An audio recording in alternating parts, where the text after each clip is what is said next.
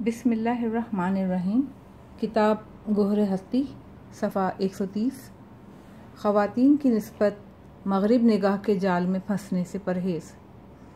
अफसोस के साथ कहना पड़ता है कि मैं कभी कभी ये देखता हूँ कि वो लोग जो अपनी ज़ुबान से ख़वातीन के हकूक़ की दिफा तो की बात तो करते हैं, लेकिन अमला ऐसी फाश गलतियों का irतकब करते हैं कि जो किसी भी सूरत में ख़वातीन के हक़ में नहीं है। यानी अफराद, मुसलमान औरत के लिए, आइडियल तराशने के लिए मगरबी औरत को देखने लग जाते हैं कि वो कैसी है और क्या करती है ताकि उसे आइडियल के तौर पर पेश कर सकें। जबकि हकीकत यह है कि उनका ये तर्ज फ़िक्र इस्लामी अंदाज फ़िक्र से बहुत मुख्तलिफ़ है। जबकि इस्लामी फ़िक्र निगाह उनकी फ़िक्र निगाह से बहुत ज़्यादा अमीक, तरक्की याफ्ता नाकबिल मुकायसा और ख़वान के लिए हर हाल में सूदमंद है। हमें मगरबी औरत से कुछ हासिल करने की ज़रूरत नहीं है। बाज़ अफराद हैं जो हकूक़ नस्वा के दिफा के बारे में दिफाई हालत इख्तियार करते हैं और जब अहल मगरब व यूरोप ये कहते हैं कि यहाँ मुसलमान माशरों में औरत पर जुल्म होता है तो ये लोग बात, ये साबित करने के लिए कि यहाँ हमारे मुल्क में औरत पर जुल्म नहीं हो रहा है। तो अपने दिफा में बहुत सी बातें बयान करना और मुख्तलिफ़ किस्म के काम करना शुरू कर देते हैं और बहुत से ऐसे अमूर का मुजाहरा करते हैं कि जिनका ख़वान पर जुल्म होने से कोई ताल्लुक़ नहीं होता। फ़र्ज़ कीजिए कि ख़वान की रविश से मुतलक बाज़ खिलाफ वर्जियाँ कि जिन्हों, जिन्हें मैंने खुद सुना है, बाज़ मकाम पर ज़ाहिर होती हैं। सही है कि ये खिलाफ वर्जियाँ और गलतियाँ हैं, लेकिन इसका इस बात से कोई ताल्लुक़ नहीं है कि हम ये कहें कि इसके ज़रिए ख़वान पर जुल्म किया जा रहा है। वो लोग ये नहीं कहते हैं कि इज्तमाही मैदान में औरत जुल्म का शिकार है। ख़वान पर सबसे ज़्यादा जुल्म उसके अपने घर में, ख़ुद उसके शोहरों के हाथ शोहर के हाथों अंजाम पाता है और शायद नबे फ़ीसद से ज़्यादा ये जुल्म उसके शोहर की तरफ़ से होता है। लिहाजा इस इज्तमाही मसले पर तवज्जो देनी और इसकी असलाह करनी चाहिए।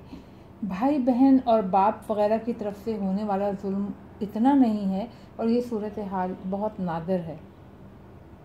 हाँ कुछ वाक़ात ऐसे हैं कि मुमकिन है कि भाई भाई पर जुल्म करे या इसी तरह से भाई बहन आपस में इख्तलाफ के नतीजे में एक दूसरे पर जुल्म करें और मुनासिब और गैर मुनासिब और ालमाना या आदलाना रवैया अख्तियार करें। लेकिन जो चीज़ सबसे ज़्यादा अहम है और जिसकी अच्छी सूरत भी कभी कभी ख़राब हो जाती है, वो घर के अंदर आपस के ताल्लुक और रवैया है। हती कभी कभार ये देखने में आता है कि इन ताल्लुक और रवैये की काबिल मुलाहजा सूरत हाल और अच्छी हालत भी बुरी, नामनासब और ालमाना होती है। सफ़ा एक सौ बत्तीस। थोड़ा सा इंसाफ कीजिए। आप प्यार और मोहब्बत से अपनी नूर चशम बेटी की, बेटी को परवान चढ़ाते हैं और पंद्रह या सोलह साल के बाद उसे उसके शोहर के घर भेज देते हैं।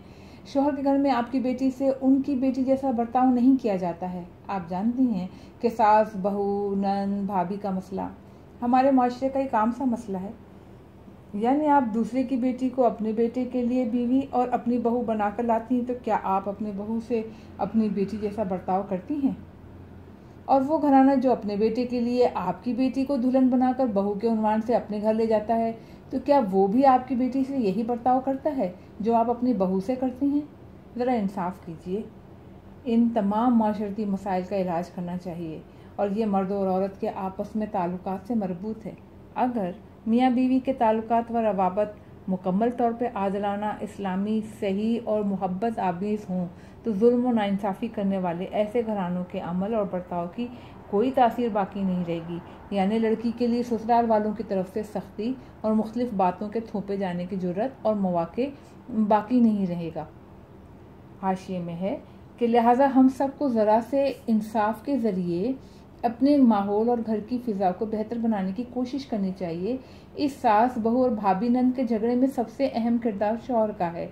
दिन भर की जंग की रिपोर्ट अपनी बीवी अपने बीवी अपने शौहर को दिन के अख्ताम पर पेश करती है। शोहर की ज़िम्मेदारी है कि वो अपनी बीवी की सही हिमायत करे और उसकी ढारस बांधे, क्योंकि ये इसकी बीवी है जो अपना सब कुछ घर बार माँ बाप माजी और ख्वाब ख्याल सब कुछ छोड़कर शोहर के पास आती है और उसकी मोहब्बत और चाहत की तलबगार है। अब यहाँ अगर शोहर बीवी की जायज़ हमायत ना करे तो बीवी का दिल टूट जाएगा। लिहाजा शोहर अपने सही तरीके और इस्लामी रवेश व अहकाम को मद्दनज़र रखते हुए मामलात को सुलझाए। वालदेन और बहन भाइयों का एहतराम भी महफूज रहे और बीवी भी खुश रहे। लिहाजा इस जमन में शोहर की ज़िम्मेदारी बहुत संगीन है। अब जहाँ तक बहू के किरदार की बात है तो इन इन तमाम मसाइल के बारे में एक अलग किताब आपकी खिदमत में पेश की जाएगी। मतरजम। इन सब की बासगश मियाँ बीवी के दरमियानी ताल्लुक की तरफ़ होती है, जो औरत पर जुल्म की राहें खोलते हैं। ये वो नुकता है कि जिसे मैं आपकी खातन की खिदमत में अर्ज़ करना चाहता हूँ। सास, बहू और भाभी नंद के दरमियान घरेलू अख्तलाफात हमारे यहाँ एक आम मसला है। ये फितरी सी बात है कि वालदेन अपनी औलाद और बेटियों को बहुत चाहते हैं और बड़े प्यार और मोहब्बत से उनकी तरबियत करके रिश्ता अजदवाज में उन्हें मुंसलिक करते हैं। उनकी ख्वाहिश होती है कि उनकी नूर चश्मी अपने ससुराल में भी वैसा ही सुख पाए जैसे अपनी मेके में पाती थी। लेकिन बहुत से घराने ऐसे हैं कि जब वो दूसरे की बेटी अपने घर में बहू बना के लाते हैं तो वो ये भूल जाते हैं कि ये बहू भी किसी घर का नूर है, किसी माँ के दिल का चैन है, खुद उनकी अपनी बेटी किसी घर में ब्याही गई है। चुनाचे ये अफराद उस बहू से बाज गैरों वाला सलूक करते हैं। हती ये भी भूल जाते हैं कि ये भी एक इंसान है और धड़कते दिल और एहसास की मालिक है।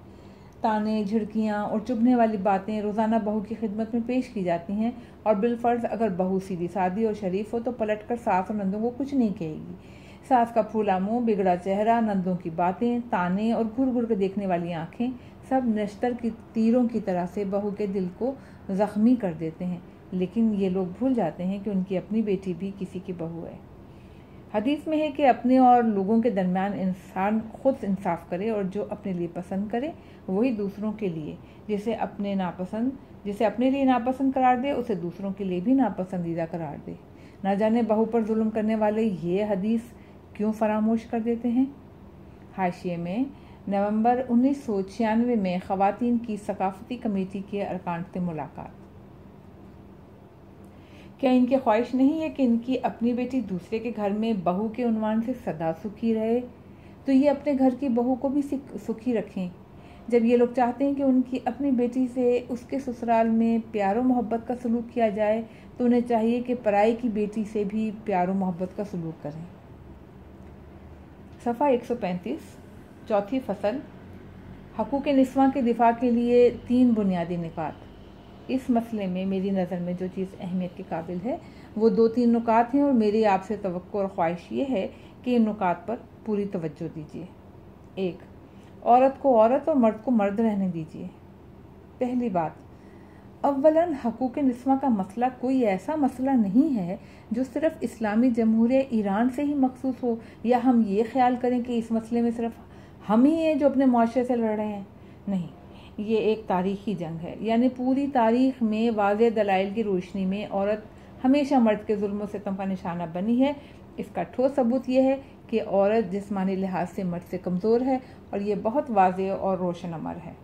मर्द की आवाज़ औरत से ज़्यादा भारी कदोकामत के लिहाज से वो बुलंद और बड़ा और जिसमानी साख के लिहाज से बड़े जुस्से और देव हकल का मालिक है। मर्दाना तख्लीक की खसूसियात में तसलुत बरतरी और फ़ाल होना शामिल है, जबकि औरत की तख्लीकी खसूसियात में उसकी नरमी, लताफत, मलायम होना और जज्ब करना शामिल है। सफ़ा 136 दूसरी बात, अगर आप औरत के बारे में इस्लामी ताबीरात को मुलहजा करेंगे तो आप देखेंगे कि औरत के बारे में हकीकी और वाकई ताबीरात मौजूद हैं। नहजुल बलागा इकतीस में है कि औरत फूल है, रेहाना, यानी फूल। इंसान फूल के साथ कैसा सलूक करता है? फूल के नरमो, नाजुक वजूद के मुकाबले में इंसान क्या तर्ज अमल अपनाता है? अगर फूल से कुश्ती लड़ी जाए तो फूल की पत्तियाँ अलग अलग होकर बिखर जाएँगी और फूल का पूरा वजूद ही ख़त्म और नाबूद हो जाएगा। अगर फूल को फूल समझें और उससे फूल जैसा बर्ताव करें तो ये जीनत का बाइस बनेगा और ख़ुद फूल का वजूद एक अहमियत व ख़ासियत को पाएगा। वलय सत बेकहरमानत, वो कहरमान नहीं है। कहरमान का मतलब पहलवान, यानी पहलवान नहीं है। ये एक अरबी ताबीर है जो फ़ारसी ज़बान से ली गई है। कहरमान यानी ख़ुद किसी काम को मुस्तकीमन अंजाम देने वाला, इंचार्ज या ठेकेदार या जो अपनी निगरानी में मुख्तलिफ़ काम अंजाम देता है। यानी औरत को अपने घर के कामों का अंजाम देने वाला इंचार्ज ना समझें। ये ख्याल ना करें कि आप घर के मालिक और मतलब कुल अनान सरबरा हैं और घर के काम काज और बच्चों की तरबियत वगैरह जैसे अहम बड़े छोटे काम एक इंचार्ज के पास हैं और घर के इंचार्ज आपकी बीवी है। लिहाजा उससे ऐसा सलूक रवा रखा जाए जो एक सरबरा अपने मातहत अफराज से रखता है। ये मसला ऐसा नहीं है। सफ़ा एक सौ सैंतीस। तीसरी बात। आप मुलाहजा कीजिए कि मर्द का ये बर्ताव और सलूक एक हकीकी बर्ताव है और बरह रास्त औरत की तबीयत व मिजाज से मुखातिब है। औरत तो अपनी तबीयत और मिजाज को फरामोश नहीं कर सकती और मसलहत भी नहीं है कि वो इसे फरामोश करे। वजह यह है कि एक कामिल ख़ानदानी निज़ाम ज़िंदगी में औरत की यह तबीयत तो मिजाज बहुत मौसर है और ये लाजमी भी है। वगरना अगर इस जिन्स औरत को ख्वा, हकीकी व वाकई तौर पर या खसूसियात व आदात के लिहाज से एक दूसरे जिन्स में तब्दील कर दें।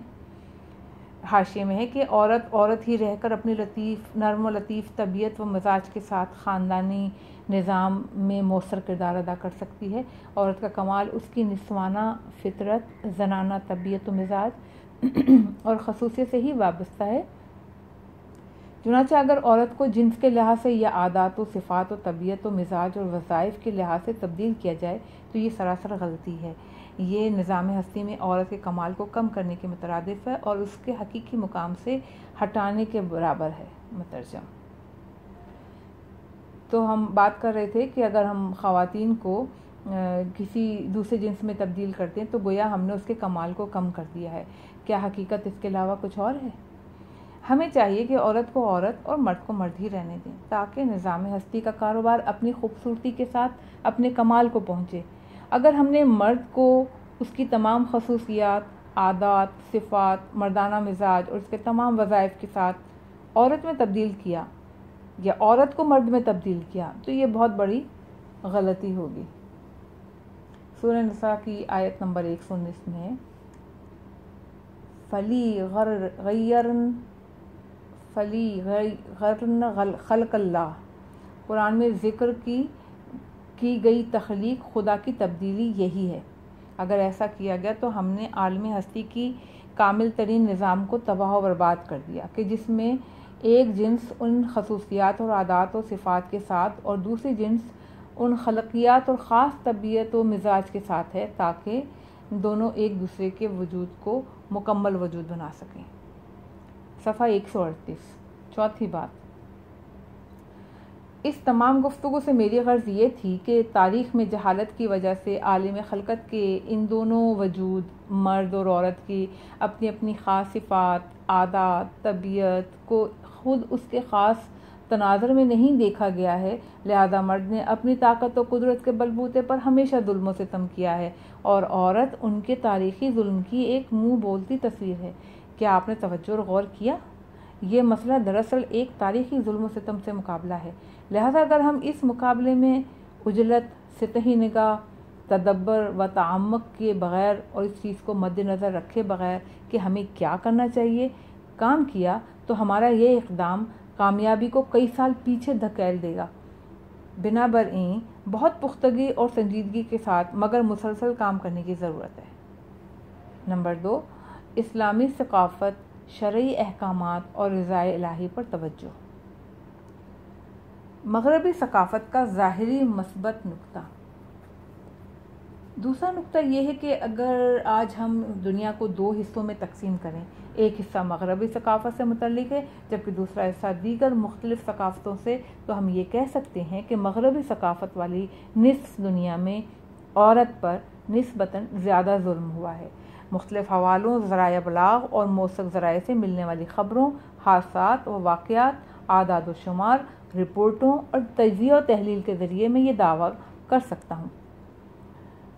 तवज्जो फरमाइए कि मगरब में एक ऐसा मसला है कि जो आँखों को खीरा करता है और वो ये है कि इस माशरे में मर्द और औरत के दरमियान उनके इज्तमाही मामला किरदार और बर्ताव में कोई फ़र्क नहीं रखा गया है।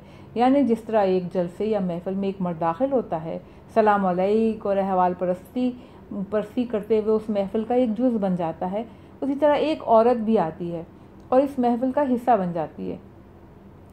चुनाचा इस माशरे में इस जहद से मर्द और औरत के किरदार और अमल में किसी किस्म का कोई फ़र्क और तबकाती या इंसानी जिन्स के लिहाज से कोई फासला मौजूद नहीं है। आपने तवज्जो फरमाई कि मगरबी माशरे के इस इज्तमाही सलूक और अमल ने दुनिया वालों की आँखों को खीरा कर दिया।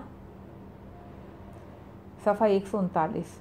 इंसान जब इस ज़ाहरी हालत को देखता है तो महसूस करता है कि ये तो एक वज़ा मतलूब है और सब इस वज़ा हालत से खुश हैं।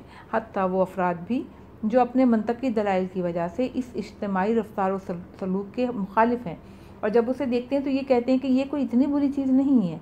और वो एक माशरती निज़ाम में मर्द और औरत को दो अजनबियों की तरह नहीं देखते हैं, बल्कि उन पर बहन भाई की हैसियत से निगाह डालते हैं कि दोनों जब एक घर में दाखिल होते हैं तो एक दूसरे को सलाम करते हैं, एक दूसरे की मिजाज पुरसी करते हैं और साथ ज़िंदगी गुजारते हैं। मगरब में मर्द और औरत इस तरह आपस में ज़िंदगी बसर करते हैं। इस ज़ाहरी मस्बत नुक्ते के पसपर्दा मनफी नकात। ये एक मस्बत नुक्ता है, लेकिन बहुत सतही और ज़ाहरी। लेकिन इस ज़ाहरी नुक्ते के पस पर्दा बहुत से मनफी नुकात पोशीदा हैं। सबसे पहली बात कि ये कि घर की चार दीवारी में बिल्कुल ऐसा नहीं है। ये कोई मम्बरी गुफ्तु नहीं कर रहे हैं हम। जो चंद सामीन को खुश करने या कोई नारा नहीं है, जो चंद अफराद को जमा करने के लिए लगाया जा रहा है, बल्कि ये सब हकीकत और सच्ची खबरें हैं और उनके दिए हुए आदाद शुमार से अखज़ शुदा हैं। घरों में ख़वान पर जुल्म सितम होता है हती उस खातिन, खातून पर भी, जो अपने मुलाजिम शोहर की मानंद मुलाजमत करती है और दिन में दो घंटे की छुट्टी में जब घर आती है तो उस पर जुल्म होता है। हाशिए में है कि यहाँ लफ्ज़ जुल्म से कोई मुशतबा अमर पैदा ना हो, क्योंकि जुल्म सिर्फ़ किसी को जदुकूब या गोली का निशाना बनाना नहीं है। जुल्म की वजाहत सफ़ा नंबर चौरासी पर हो चुकी है। जुल्म एक वसी मफहूम है और इसके कई मसदाक हैं। और लिहाजा जुल्म का वही मायना मुराद लिया जाए, जो मतन में मौजूद सियाक व सबाक और करीने से समझा जाए। मतरजा। हम वापस आते हैं अपने मतन पर कि जुल्म कैसे होता है। इसलिए कि ये दो इंसान हैं, एक मर्द है और एक औरत। अगर ये सूरत हाल एक तस्वराती और आइडियल सूरत हाल होती, यानी ये दो इंसान हैं, दोनों मुलाजमत करते हैं, रात को थके हारे आते हैं और सो जाते हैं। सुबह उठते हैं, दोबारा अपने अपने कामों पे चले जाते हैं। हालाँकि ये दोनों मर्द नहीं हैं, इनमें से एक मर्द है और एक औरत। मर्द दावत मर्द व औरत में से हर एक को अलग अलग चीज़ की ज़रूरत होती है। ऐसे माहौल में मर्द फिर भी जुल्म सतम कर रहा होता है। लेकिन चूँकि मर्द औरत के बनस्बत मज़बूत और कवी होता है, लिहाजा हम उसके जुल्म को यहाँ बयान नहीं करना चाहते। जिस पर यकीनी सूरत पे जुल्म होता है, वो औरत है। इसलिए कि वो मर्द जो उस औरत का शोहर है और बहुत सारी ख़वान से जिनसी और आशकाना ताल्लुक रखता है, उसके लिए नाजायज़ ताल्लुक और रवाबत, रवाबित मुकम्मल तौर पर सच्चे और वफ़ादार मियाँ बीवी की मानद मोहब्बत से लबरेज होते हैं। हालाँकि वो अपने अहले अयाल से भी ऐसे ताल्लुक नहीं रखता। ये एक औरत पर बहुत कारी ज़रब और बहुत बड़ा हमला है। एक बीवी की ख्वाहिश होती है कि वह अपने जीवन साथी से मोहब्बत, आमेज़, साफ़, शफाफ और नज़दीक तरीन ताल्लुक रखती हो। और ये दोनों पूरी दुनिया से ज़्यादा एक दूसरे के करीब हों। लिहाजा ऐसे घराने में सबसे पहली चीज़ जो औरत से छीनी जाती है, वो यही है। अब आप फ़र्ज़ कीजिए कि कोई ऐसा शोहर हो कि जो कभी अपनी बीवी से रहम का सलूक भी करे और कभी जुल्म भी करे, लेकिन फिर भी उसके साथ गहराना दोस्ताना, गहरा दोस्ताना व आशकाना और बकौल मारूफ जानम, स्वीटी या हनी का रबता रखता हो। तो क्या ये रबता और ताल्लुक बेहतर हैं या नहीं? यानी दो दोस्तों के माने दोनों घर में दाखिल हों, एक दूसरे को सलाम करें, अहवाल पुरसी करें, मेज़ पर बैठ के एक साथ चाय पिएँ और उसके बाद ये अपनी राह ले ले और वो अपनी राह वसल्लम है कि ये भी पहली सूरत हाल से बेहतर नहीं है। आप एक औरत की हैसियत से इस फैसले के लिए अपने वजदान की तरफ़ रुजू कीजिए कि क्या आप इस दूसरी सूरत हाल को पहले की नस्बत ज़्यादा पसंद करती हैं? ये शोहर काबिल तहसीन है या पहला शोहर? मैं गुमान नहीं कर सकता कि कोई ऐसी औरत मौजूद हो को जो इस दूसरे शोहर को पहले वाले शोहर पर तरजीह दे। यानी वो बीवी पहले वाले सख्त गिर शोहर की सख्त मिजाजी के नतीजे में पैदा होने वाली तरक्की को इस दूसरे शोहर से इसकी हकीकी मोहब्बत और चाहत और इसके बाद के मुकाबले में कि इसका शोहर इसके सिवा किसी और औरत का आशिक व दिलदादा और किसी और से जिनसी ताल्लुक रखने वाला नहीं है, कबूल कर लेती है। आपने तवज्जो फरमाई, ये है वो पहला सितम जो मगरबी औरत पर होता है। मैं नहीं कहता कि वहाँ तमाम घराने ऐसे हैं, लेकिन मामूलन सूरत हाल यही है और दूसरी जानब औरत पर होने वाला जिस्मानी जुल्म और अजियत व आज़ार दूसरी तरफ़ से। मैंने दो साल कबल उन्नीस में एक अमरीकी जरीदे में घरों में होने वाले मर्दों के जुल्म सितम के आदाद शुमार का मुताल किया था। वह आदाद शुमार वाक़ बहुत वहशतनाक थे। अलबत् आपको मालूम है कि अमरीकी बाज़ जहाज़ से मसलन खुले टुले होने में कदीम यूरोपी ममालिक से बेहतर हैं। और इंग्लिस्तान, फ्रांस और दीगर यूरोपीय ममालिक के मुकाबले में ज़्यादा खुले हैं। यही हालत, यही खुली हालत जो मगरबी सकाफ़त में मुशाह की जाती है, अमेरिका में यूरोपीय ममालिक से ज़्यादा है। लेकिन इसके साथ साथ अमेरिका में एक घरेलू औरत पर जुल्म सितम जदोकोब अहानत, तहकीर और दूसरे मगरबी ममालिक से भी ज़्यादा है। इन आदाद शुमार में मैंने खुद देखा है कि वो लिखते हैं कि ये उन लोगों के आदाद शुमार हैं जिन्होंने ज़रूरत का मुजाहरा करते हुए आकर शिकायत दर्ज कराई है, जबकि शिकायत दर्ज ना कराने वालों की एक कसीर तादाद मौजूद है। सफ़ा एक सौ बयालीस। हम क्या करें? बस आप देखिए कि ये वो पहला जुल्म है जो वहाँ की ख़वातीन पर होता है और कोई उसकी तरफ़ मतवजो नहीं है। अब इस हालत में हम आएँ और अपने शारों और नारों में ऐसी चीज़ों को बयान करें कि जो कि मगरबी सकाफ़त ख़वातीन के हकूक़ के दिफा या ख़ुद ख़वातीन से बर्ताव के उनवान से बयान करती हैं और उन्हें शार और नारों की हैसियत से मुतारफ़ कराती है। क्या ये मसलहत है? इन तमाम चीज़ों को आइडियल बनाकर उन्हें मुसलमान माशरों के सामने पेश करना और उन पर अमल करना हमारे लिए कहीं से भी सूदमंद नहीं है। अगर आप इस्लाम की नज़र को हकीकी और गहरी सूरत में समझें, ना कि सतही नज़र, कि जो अक्सर अवकात गैर हकीकी मतालब और ख्याल का मजमू होती है और औरत के बारे में इस्लामी नज़र का लब लबाब समझा और निकाला जाए तो ये अमर सजावार है कि जिसके लिए हकीकता जदोजहद की जाए और शुार बुलंद किए जाएँ। मेरी ख्वाहिश है कि आप जो शुार और नारे लगाते हैं, उनमें इन चीज़ों को ले, ना लेकर आएँ, जो कि मगरबी सकाफ़त का हिस्सा है। और मगरबी सकाफ़त की तरफ़ झुकाव को हकूक़ नस्वा के लिए अपने मुकाबले का हदफ करार ना दें। इसलिए कि अवला मगरबी सकाफ़त एक नाकाम सकाफ़त है और लोग भी ये बातें सुनने के लिए तैयार नहीं हैं और बहुत से दूसरे अफराद इन बातों को कबूल नहीं करते। माशरे में बहुत से साहिब नज़र और दीगर अफराद हैं कि जो मुमकिन है कि इन बातों को कबूल ना करते हों तो ये अफराद मुकाबल में आ खड़े होंगे, क्योंकि ये लोग भी हकूक़ नस्वा के दफ़ा करने के ख्वाहिशमंद हैं। सफ़ा एक सौ तैंतालीस। सानियन बजाय इसके कि सबके हा, सब हाथों में हाथ दें और माजी में ज़ायर शुदा एक हक के इसबात के लिए जद्दोजहद करें आपस में मुकाबला आरई शुरू कर देंगे। यूँ ये गलत सिलसिला चल निकलेगा और ये ऊँट किसी करवट नहीं बैठेगा। सालसन इस तर्ज अमल को अपनाने में मसलहत नहीं है और ना ही खुदा खुदावंद आलम इससे राज़ी है। इंसान को ऐसा काम अंजाम देना चाहिए कि उसका खुदा उससे राज़ी हो। रज़ाए इलाही के लिए काम कीजिए। हकूक़ नस्वा के इस दिफा, इस हकूमत और इस फ़ालियत से हमारा हदफ रज़ा इलाही का हसूल है।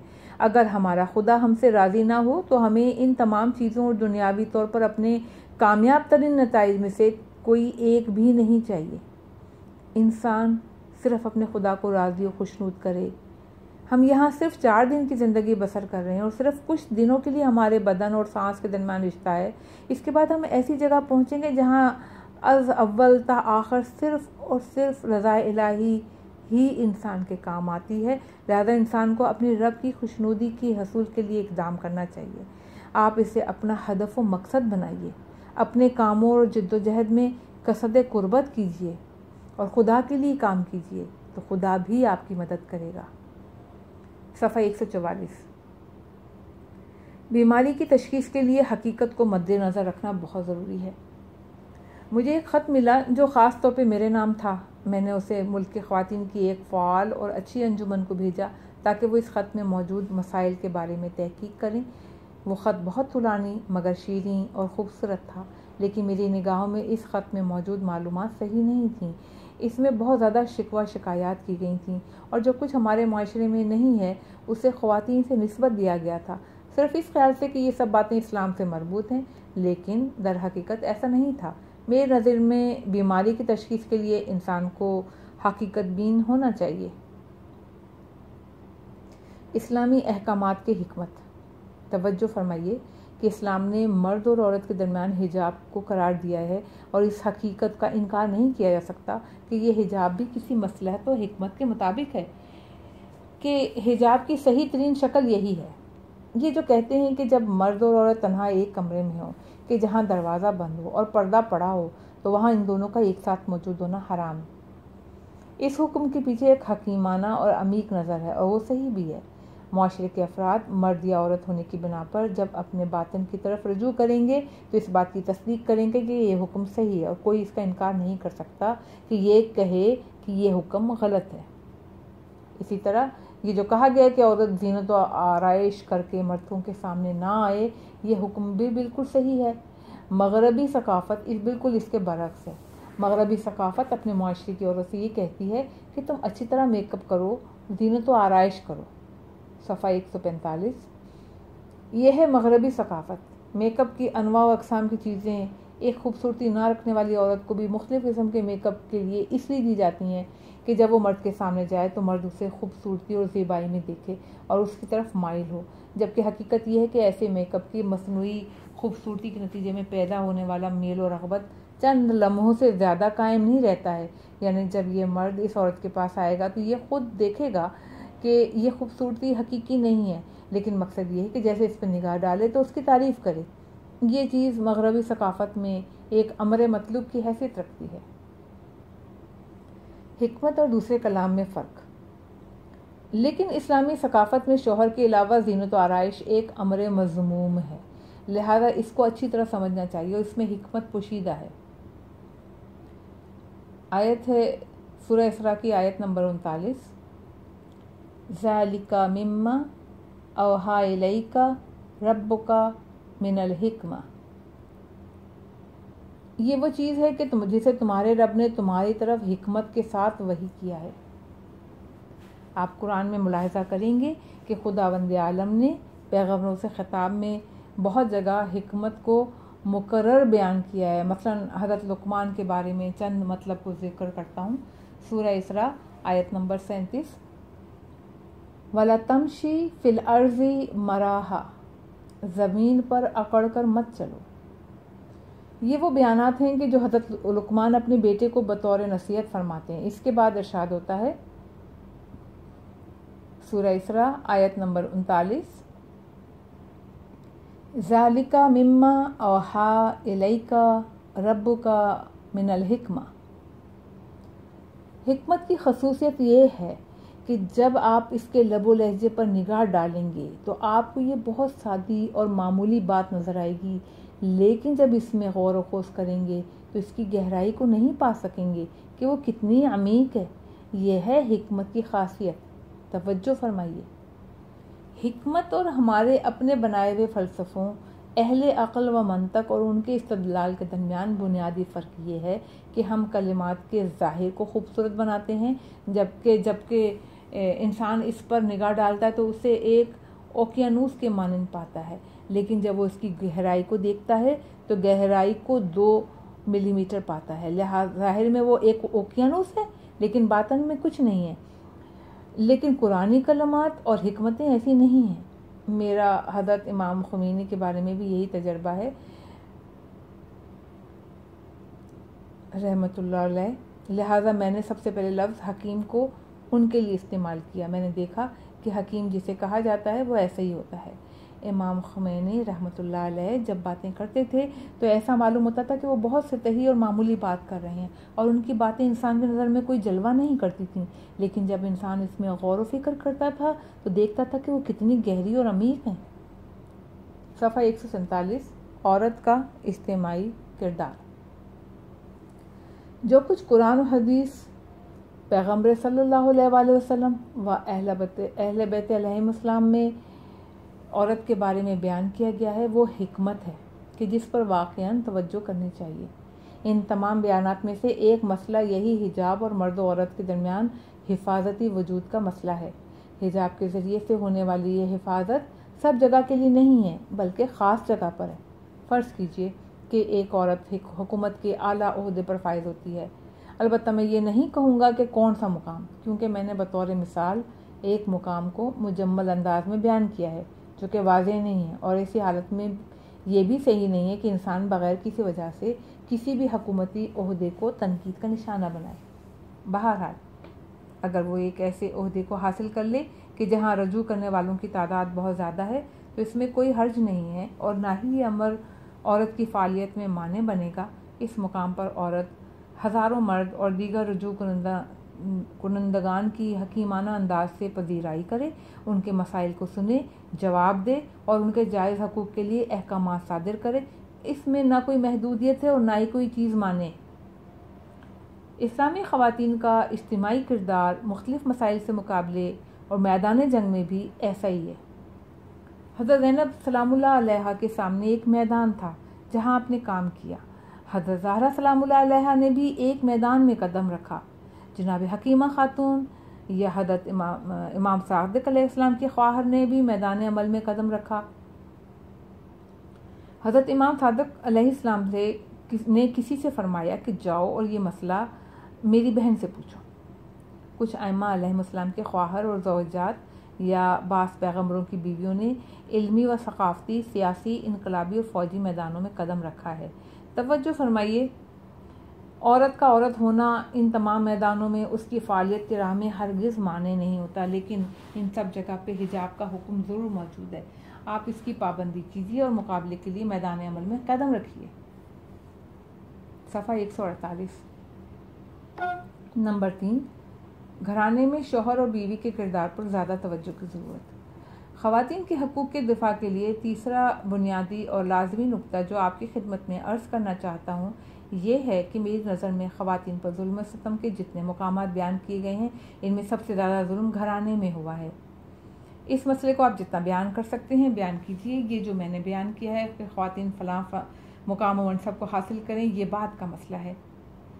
बात का मरहला है। और इतना काबिल अहमियत नहीं है। सबसे अहम मरहला शोहर और बीवी का आपस में एक दूसरे से बर्ताव और किरदार का मरहला है। अगर आप ऐसे कवानीन वज़ा कर सकें कि जब एक शोहर, एक औरत अपने शोहर के घर में हो तो अमन व सुकून का एहसास करे तो ये एक काबिल तहसीन अमल है। बीवी के लिए अमन व सुकून का माहौल फराहम कीजिए। इंसान अपनी बेटी को बहुत मेहनत, मोहब्बत, नरमी, वालदेन से इश्क के साथ परवान चढ़ाता है और इसके बाद वो लड़की जवानी के मरहले में कदम रखती है। इस मरहले में भी लड़की अपने वालदेन के घर में उनकी बच्ची ही शुमार की जाती है।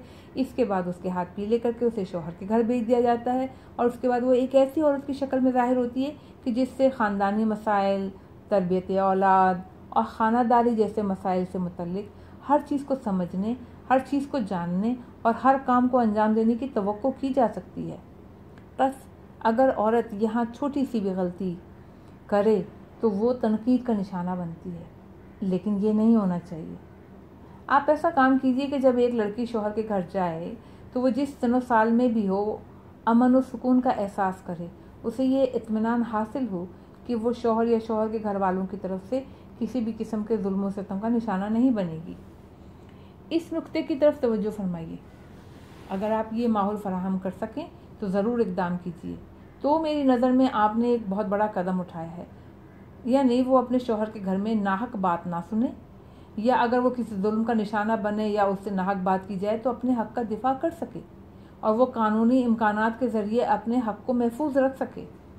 और ये काम इतना अहम है कि मेरी नज़र तवज्जो और फ़िक्र का ज़्यादा हिस्सा एक मुसलमान औरत के लिए इसी माहौल की फराहमी में मशगूल है। मैं देख रहा हूँ कि हमारे माशरे समेत दीगर इस्लामी ममालिक में औरत को ये माहौल फराहम नहीं हो सका है। हती कि मोमिन मतकी अफराद के घरों में भी ऐसा माहौल नहीं है और मौजूदा ज़माने के घराने भी इस आइडियल माहौल से महरूम हैं। हाशिए में है कि यहाँ बहुत से लोग इन तोहमात के शिकार हैं कि ये क्या हक हकूक़ की रट लगा रखी है। हक व हकूक़ तो उस वक्त की बात है जब वो अपने बाप के घर में हो। जब वो शोहर के घर में आ गई तो कौन सा हक और कैसे हकूक़ सब कुछ ख़त्म हो जाता है। अब इसका जनाजा ही इसके शोहर के घर कैसे निकलेगा, वगैरह वगैरह। ये अफराद अहमकों की जन्नत में रहते हैं। अगर लड़की शोहर के घर आ जाए तो सही है कि इसके अपने घर से मुतलिक कुछ हकूक़ ख़त्म हो जाते हैं। लेकिन शोहर के घर उसके हकूक़ में इजाफा हो जाता है, जिसमें सबसे पहले अमन सकून का माहौल और नाहक बात और जुल्म सी दूरी वगैरह शामिल है। शादी करने से औरत की ज़ात ख़त्म नहीं हो जाती, बल्कि शोहर के घर में आने से उसकी शख्सियत मज़ीद निखर जाती है और इसका इज्तमाही रूप सामने आता है। अब वो एक बीवी के रूप में पहले से ज़्यादा हसास वजूद रखती है। अपने मेके, वालदेन और बहन भाइयों को छोड़कर आने वाली एक लड़की, जो अब शोहर के साथ उसके नए घर, नए अफराद, नए माहौल में ज़िंदगी बसर करना चाहती है, इसके बाद वो मज़ीद हसास हो जाती है। क्योंकि अब वो तरबियत औलाद के मरहले में कदम रखती है।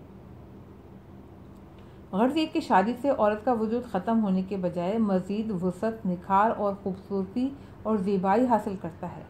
मतरजम। सफ़ा 150 चंद साल कबल एक पीएचडी खातून ने हमसे शिकायत की कि उसका शोहर जो ज़्यादा तालीम याफ्ता नहीं है, मुझ पर मुख्तलिफ़ मसाइल ज़िंदगी में ज़ोर ज़बरदस्ती करता है। और ये खातून अपने हक का दिफा नहीं कर सकती। ये एक नमूना है और ऐसी बहुत सारी मिसालें मौजूद हैं। अफसोस ये कि हमारे माशरे में ये चीज़ें मौजूद हैं। अगर आप कुछ कर सकें तो इन तमाम चीज़ों को कवानीन के ज़रिए ख़त्म कर दीजिए ताकि ख़वान के हकूक़ शोहरों के जुल्म और ज़बरदस्ती की वजह से ज़ाया ना हो। वो नुकता कि जिसे मैंने आ, पहले आपकी खिदमत में अर्ज़ किया कि मर्द की बनस्बत औरत का जिस्मानी लिहाज से कमज़ोर होना उस पर जुल्म होने का बायस बना है तो इसे मार्फत और तालीम के ज़रिए से एक जहत से और कानून की मदद से, दूसरे जहत से मज़बूत बनाना चाहिए। यानी ख़वान के हाथ में उनके हकूक़ के दिफा के इकतदार का, के वसाइल देना चाहिए। ये वसाइल मार्फत और तालीम की तरफ़ से ख़वान पर जुल्म सतम की राह में एक तरफ़ से माने बन जाते हैं, जबकि दूसरी तरफ़ कानून है। जो कि ख़वान के हकूक़ और जुल्म से उनकी हिफाजत करता है। लिहाजा, अगर ये दोनों तरफ़ ख़वान के लिए फ़राहम हो जाएँ तो ये काबिल तहसीन अमल है। आप अपनी ख़वान को तहसील इल्म और बेटियों को अली तालीम के हसूल की तरगीब दिलाइए और अली तालीमी मराकज़ में अपनी बेटियों के दाखिले को कानूनी लिहाज से सहल और आसान बनाइए। अगर ये चीज़ हासिल हो गई तो मेरी नज़र में तमाम चीज़ें हासिल हो जाएँगी। मसलन फ़र्ज़ कीजिए, मौजूदा ज़माने में मुमकिन है कि ख़वान को इस बारे में फ़िक्र लाहो को कि वो ड्राइविंग क्यों नहीं करती या ट्रक ड्राइवर क्यों नहीं बनी, फ़ला काम अंजाम क्यों नहीं देती। इन चीज़ों की अहमियत नहीं है और ना ही इन चीज़ की कोई कदर कीमत है कि इंसान इनके लिए जद्दोजहद करे। सफ़ा एक सौ इक्यावन। हिंदुस्तानी औरत रोज़ाना पाँच रुपये उजरत। मैं कभी फरामोश नहीं कर सकता। कि मैं हिंदुस्तान में एक यूनिवर्सिटी के तालब इम के घर मेहमान था। हम दोपहर के खाने के बाद इस तरह हद करना चाहते थे तो अचानक से बाहर से किसी चीज़ के तोड़ने की आवाज़ें आने लगी। मैंने घड़ी के, खिड़की से देखा कि एक बड़ा सा सहन नुमा मैदान है, जिसमें मुख्तलिफ़ पत्थर पड़े हैं और एक चालीस पचास साल मज़दूर औरत हथौड़ी हाथ में लिए पत्थरों को तोड़ रही है। वह औरत फरबा बदन की मालिक और काली थी और उसने ख़ास किस्म का लिबास पहना हुआ था। कि जब ख़वान ये लिबास या जंपर पहनती हैं तो अपने बदन का एक हिस्सा सीने का ऊपरी हिस्सा खुला रहने देती हैं। ये वहाँ के लिबास का अंदाज़ है कि लिबास में सीने का ऊपरी हिस्सा खुला रहता है और ये फ़ैशन से ताल्लुक़ रखता है। ये मज़दूर औरत भी इसी हुलिये में थी और मेहनत मजदूरी के दौरान इसने अपने फ़ैशन को फरामोश नहीं किया था। वो सख्त मेहनत करते हुए मुसलसल पत्थरों को तोड़ रही थी। मैंने पूछा कि ये औरत ये काम क्यों कर रही है? उसने जवाब दिया कि ये मज़दूर है। मैंने फिर सवाल किया कि ये रोज़ाना कितनी उजरत लेती है? उसने कहा, रोज़ाना के चार या पाँच रुपये उस वक्त हिंदुस्तानी एक रुपया शायद हमारे यहाँ पंद्रह रियाल के बराबर था। यानी माहाना तकरीबन 120 से 150 रुपए वो लेती थी। और उसके लिए रोज़ाना 14 या 12 घंटे मेहनत व मशक्क़त करती और पत्थरों को तोड़ती थी। ऐसा मालूम होता है कि इस्लामी माहौल में एक औरत को इस तरह का काम नहीं दिया जाता है। और ये बात ख़ुद बायस इफ्तार है अलबत् औरत अपने खेतों में अपने लिए काम करती है, लेकिन वो दूसरों की मजदूर नहीं बनती है। एक वक्त ऐसा, एक, ऐसे वक्त में एक इंसान आए और बड़ी जद्दोजहद के बाद फ़र्ज़ कीजिए कि औरत के ट्रक ड्राइवर होने के इम्कान फराहम करे। इन बातों की कतन कोई कदर कीमत नहीं है। हाशिए में है कि ये मंदरजा वाला तकरीर इस्लामी इनकलाब के तकरीबन 18 साल बाद की है। ईरानी माशरे में यकीनन ये हालात नहीं रहे हैं। और ना ही इनकलाब की कामयाबी के बाद थे, मगर हिंदुस्तान और पाकिस्तान जैसे तरक्की पजीर और तीसरी दुनिया के ममालिक में औरत भी मर्द मजदूरों के साथ मकानात की तामीर, रोडों की तामीर, सड़कों की सफ़ाई और दीगर कामों को अंजाम देती है। यहाँ हमारा माशरा औरत की निस्वानियत और इसके सिनफ नाजुक होने और इसकी इज़्ज़त व आबरू को यकसा फरामोश कर देता है। हाशिया नंबर दो में है कि सेवेंटी वन में पार्लियामेंट की ख़वान अरकान से खिताब